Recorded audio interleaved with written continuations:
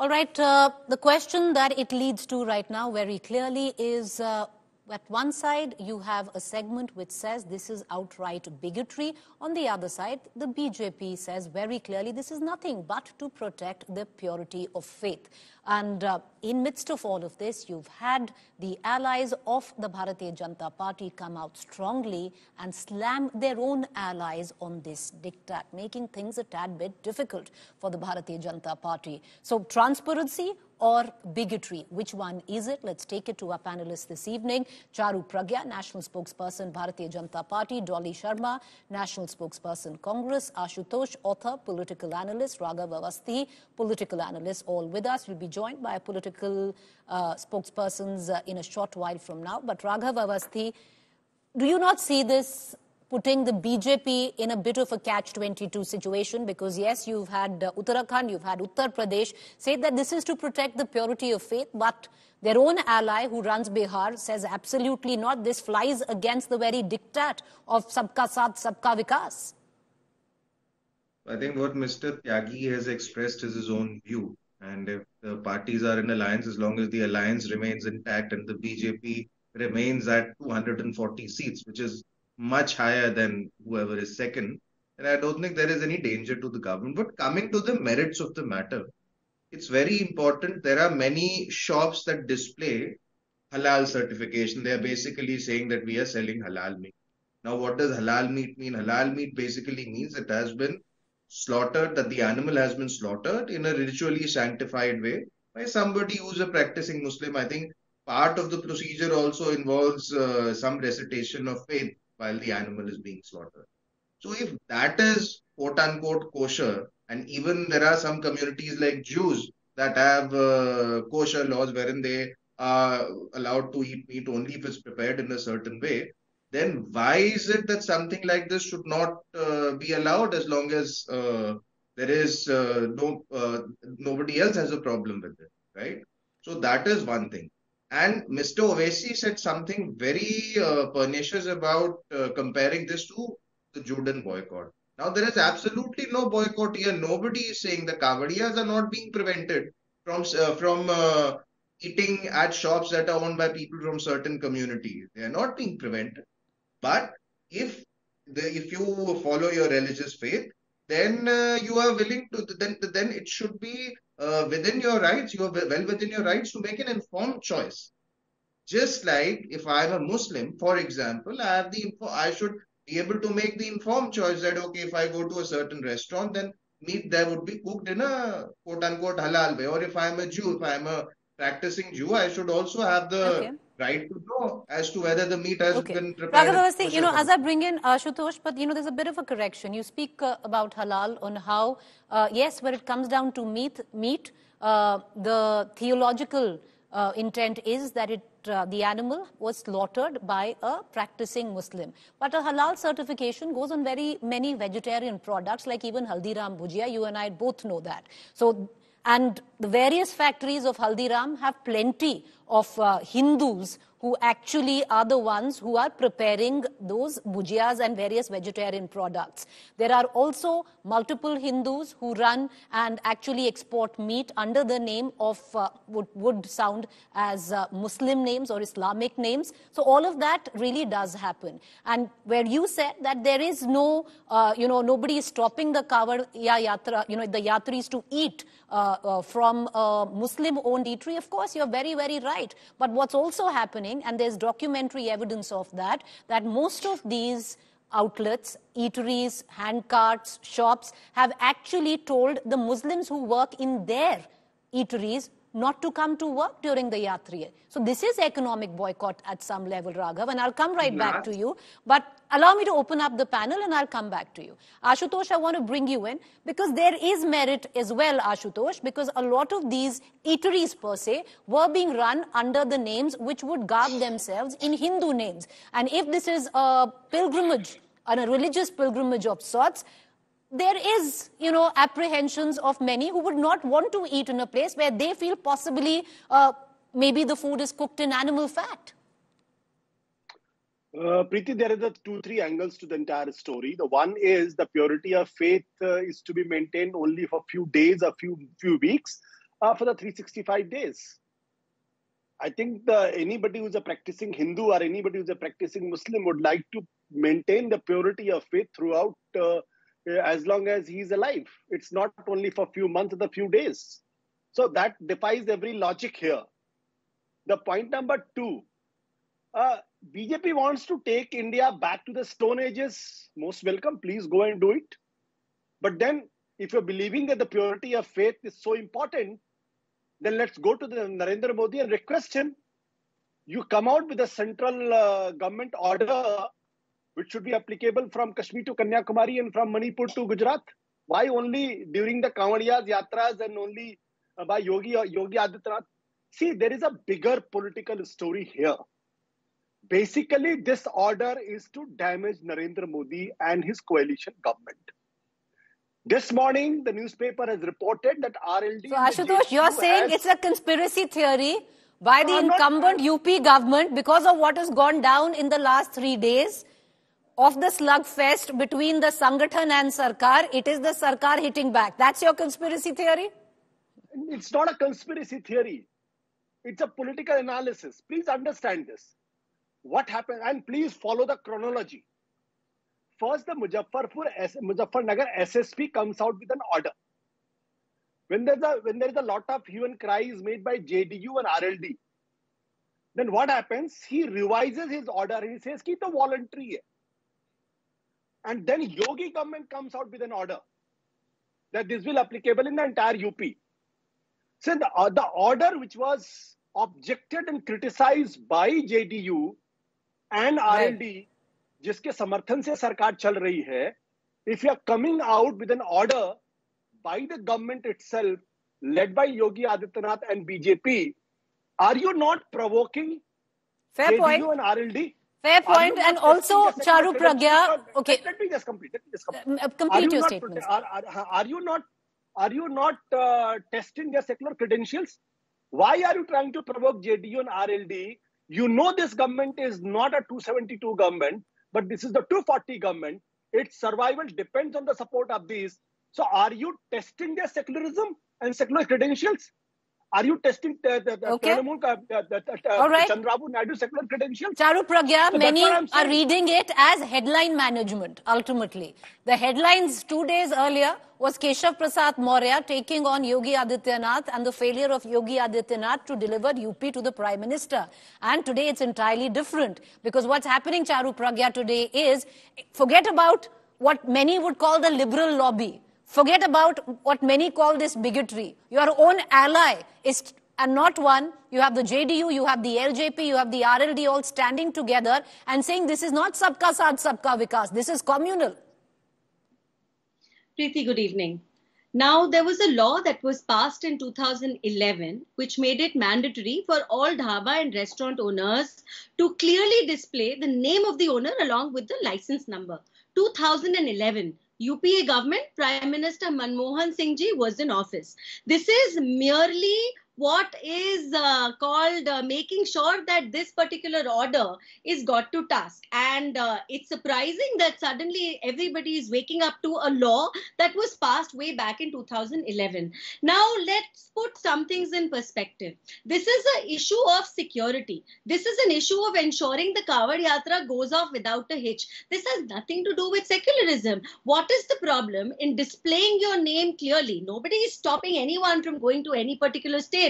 Forget about Indians. Even if a foreigner wants to open some kind of a restaurant or a bhojanale on that route, they're welcome to do so. But why is it that the pilgrim should not know who is selling what? If the food being sold in a particular dhaba is pure vegetarian or not. And i was listening to the analysis that has been going on and it's very fair. If muslims can demand a halal certificate because it is religiously correct for them to do so during the time of kawad yatra is it unfair to expect hindus to only eat at a place where animals have not been slaughtered? And that's not the only order that has been passed by the government of uttar pradesh. Let me remind everyone that there have been several orders which have been passed about the use of loudspeakers, for example, about the height of the kavod which is allowed, for example, to ensure the yatra goes up without a hitch, without any kind of a security stall which can create problems. Being entangled in electric wires, getting into a fight, or eating something that somebody would consider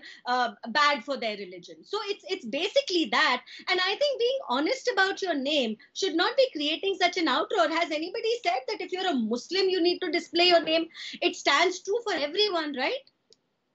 All right, okay. You know, as I bring in the uh, BJP, uh, the Congress spokesperson, but Charu Pragya, you speak of the 2011 order, and the, which was a law by under the UPA, which was headed by Manmohan Singh's government. You know, I just want to correct you, and uh, you can come back on that as well. That was uh, for licenses which were credible and the date of how far the license would hold for that particular eatery that be displayed inside the store not outside where it's painted inside the store. So at least one knows that this was a genuine license that person held. So that's the differentiation. Just my limited point there. Number one. Uh, number two i want to bring in dolly sharma into this conversation. Dolly sharma um, yeah. like the bjp spokesperson says why are you trying to give a communal color to it? This is about purity of faith, and nobody is just saying that the Muslims have to give out their names. It's for everybody, and ultimately, let there be transparency.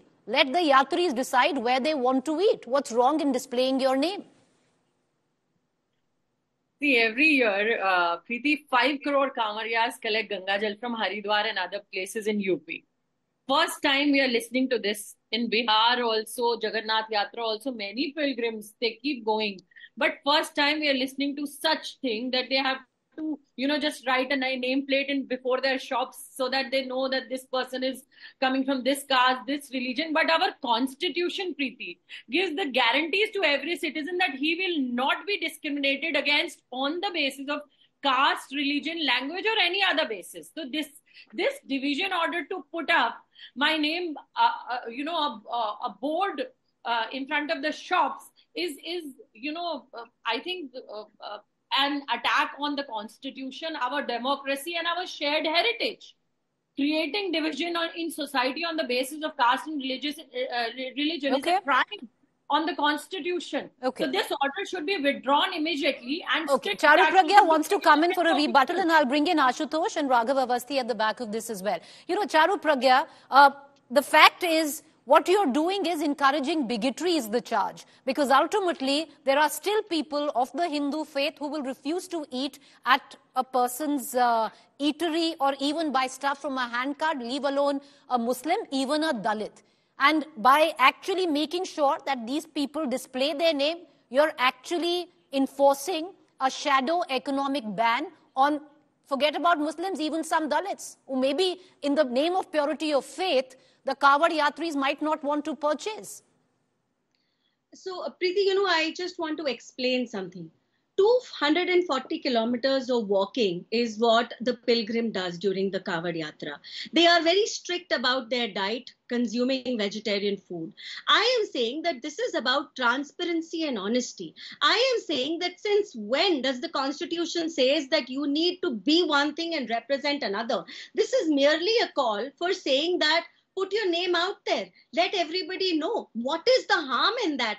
And uh, let's also say that the, you know this division in the name of religion is completely unfair because everyone is aware more than 80% of the kawads are being made by Muslims. There is no stopping that. But tell me if somebody is very clear they don't want to eat from a kitchen where meat has been slaughtered or prepared. Why shouldn't the pilgrims be told that? And why does okay. this need to be okay. looked at from a different lens? Telling your name honestly or putting your okay. name out honestly but is Raghav, what requires okay. and it is a completely but, but Raghav, Raghav taking off from what Charu Pragya says it's not really a kitchen how does it matter whether a Salim or a, you know, a Hindu name? A Surinder is selling you a banana or a mango, but you've made sure that Salim and Surinder display their names. Even on a handcart, selling right? fruit. I, I, I eat everything and I don't even care about the No, no, I'm not, I'm not personal choices, Raghav. I'm just let asking me come, you. Let me come to it. If there are people, if there are Jews who make a choice, who make an informed choice on the basis of their religious belief, which for me is frankly incomprehensible, that they will eat meat only if it is slaughtered in a certain way. And if there are Muslims, right, who make an informed choice that since they are Muslims, they will eat meat which is slaughtered in quote unquote halal fashion. Then why is it like, what sort of secularism is it that this choice is not extended to Hindus? And everybody Even if it pertains to a handcart, Raghav? Even if It it pertains to a mangoes being sold, where where you matter. possibly you possibly are encouraging bigotry in the name of I will not buy, buy mangoes from Salim, but I'll buy mango from Surinder or a if banana. kosher and halal are bigoted, then this order is also bigoted. It's as simple as that. You can't have what is sauce for the goose is sauce for the gander. I mean, there are many places that I've seen in so-called developed countries where they say that the meat that is served here is kosher, so that uh, any Jew with, you know, that the, might I'll tell have you, somewhere down the line, the halal analogy is a little flawed because here, like Charu Pragya, and I'll bring in Ashutosh right after that, is the fact that most of these eateries, forget, they might be owned by Hindus, but they had employed Muslims as workers. All of them have lost their job through the course of this entire yatra. And you speak of 250 say- kilometers, you can say- 88 you can say kilometers of that. many- 88 You can say kilometers of that lie in Bihar from Sultanpur to Deoghar, and there this order is not implemented by your ally. But along this route, even if it is Hindu owned, that person has made sure he doesn't have a Muslim employee anymore. Isn't this economic boycott, ma'am? It's not at all. Let me let no, me no, this is for. Charu Pragya. Charu, you can- One second. Charu Pragya, go ahead. So, Preeti, you know, that's exactly what I was trying to say. Now the order is merely for the owners of the restaurant or the people who are manning any stall. Nobody is asking for an economic boycott, and I think it is uh, very twisted to put it out like that. For one month, which is a holy month, people are fasting, people are walking, people are praying. They have the right to choose which way their astha bends. It's like telling somebody who is uh, fasting during Ramzan that it's healthier to just drink water or why are you waiting for the sun to set it's actually an analogy like that it is somebody's religion i think it is absolutely fair if there could be spats because of this reason if there could be arguments because of the reason if there could be a security compromise because of this reason everybody has been Okay. told to follow a certain All right, okay, but you know. It's not twisting. Okay, no, no, no. It's not twisting facts. One second. It's not. Okay, Dolly, I know Dolly Sharma, you want to come in, but this is not twisting facts. These are these are the facts right now, which has been widely reported, where Muslim workers in Hindu joints and eateries have lost their job. Uh, Dolly Sharma, you wanted to come in for a rebuttal very quickly. I'll bring in Ashutosh. Yeah, I, I said this used to happen in Nazi Germany where special shops used to mark, they used to mark the special shops. And also, this is, you know, they're spreading a disease of untouchability also. This So is are you Nazi tomorrow going Germany, to say the halal shops are certificate how is is required this? on the bhujia, like it is not required on mangoes? Would you say that also, Dolly? It's a very logical question to you. A bhujia is not halal I or otherwise, this is not right? required, So and this is not the first time that yatra is requires happening. The halal happening for certificate to be displayed on the Okay. pack of bhujiyas. Why not follow the same law for another Okay, one religion? second, one second. You, you are, Do you, away with the halal One, uh. Dolly Sharma wants to come in, please. Dolly Sharma, come in, and I'll bring in Ashutosh. Dolly This yatra is Sharma. happening. This is not the first time this yatra is happening. This is happening from years. So why now this time? It it is because of the fear of coming, uh, you know, elections that are coming. Okay. Again, you want to spread right. this. Okay, Ashutosh. I want you to come in and maybe delve in a little more on what we spoke of earlier because there seems to be multiple facets to this. One might be the purity of faith facet, and many might suggest that's the front of it, but it is the political play at the back because if you literally see it, this would be the first discord or the first red flag, flashpoint between the NDA alliance, where you've seen three of its big allies, or at least two of its big allies, and the RLD, the third, get up and say, not happening. This is not Sabka Vikas. See, uh, uh, Preeti, it's so interesting to listen to Avasti and what Charuji is saying. I have a lot of respect for them. But I just want to know a simple fact. There are more than 250 member of parliament, member of uh, legislative assemblies in UP from the BJP and uh, 33 from the BJP, member of parliament from BJP. out of these seven, third, uh, 270, out of these two, two, two, almost 300, how many sons of the MLAs and the MPs are going for the cover? None. If I, if, if, if they have uh, information, they should tell us. So Avasthi and Charu, they would love to have all kinds of food from every corner of the city, like like I do, like my parents do, who are a practicing Hindu and believe into the purity of faith. But I want a particular population to be to remain bigot. They, they, they should be maintaining the Hindu-Muslim binary. That is good for them. So I am this this is the dichotomy of this entire argument and the debate. None of them, I can vouch for this, not a single member of parliament from the BJP has been sending their sons for the Kawad Yatra. Not one. If they can enlighten me with one name, I'll be more than happy to do that. And I, apolo- I will apologize on this channel. None. None of them will join the Bajrang Dal. So they, they, they need these people to take lathis in their hand and do all kinds of things. But they're sitting in a in a in a in a in a in a five star AC kind of a thing with driving Okay. big cars and talking about uh, about all kinds of things. Second point, that's a very important point. I think BJP has not learned their lesson. These kind of orders will further further create problems for the BJP because not only the Muslims, even the scheduled castes and the other backward castes, they will also be discriminated when the names are displayed. And take it from me. I come from UP and I know UP from the from the back of my hand. I know what kind of caste structure is there, what kind of discrimination is is pursued, what kind of untouchability is it. So I think the BJP is not willing to learn any lesson. Let good for them. Okay. Charu Pragya, let me give you an tomorrow- example. Okay, I want to bring in Charu. I want to bring in Charu Pragya into this conversation. Charu Pragya, let me give you an example because what happens is, um, way back, a lot of uh, SC, STs and Dalits, because they did not want to give out their identity, assumed the name of Kumar. Because, and they and we all know that they started calling themselves Kumar and they refused to carry their surname because there was a certain amount of bigotry attached to it Now, when you say कि नाम में क्या बुरा है दिखाने के लिए, why are we ashamed of identity? These are the very reasons because they were discriminated against. And that's why they adopted a name. And today you're asking them to come out and give out their name. What if you're subjecting them to bigotry? So, Preeti, you know, times have changed, and uh, this is not the same time. Everybody can proudly carry their name.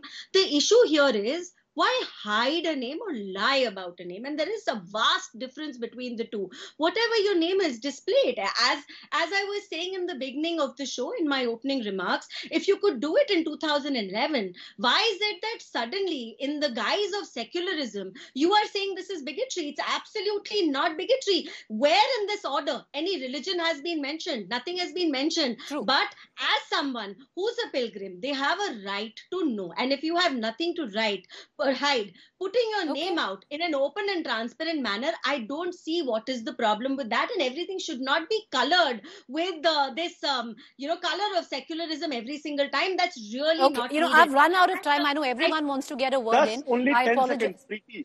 Sir, Preeti, I am. only 10 seconds. Sir, 10 five seconds, 10 seconds. seconds. Three lines, sir. हाँ five second five second my name is Ashutosh जब कोई मुझसे पूछता है ना UP में कहता है आपका क्या नाम है आशुतोष आगे तो कुछ होगा नहीं नहीं आशुतोष नहीं कुछ तो होगा बताइए। तो फिर मेरे फादर का नाम पूछते हैं। उनका ही नाम में भी नहीं है। This is the caste identity in India in UP you can't am also from Okay, now five Say- seconds.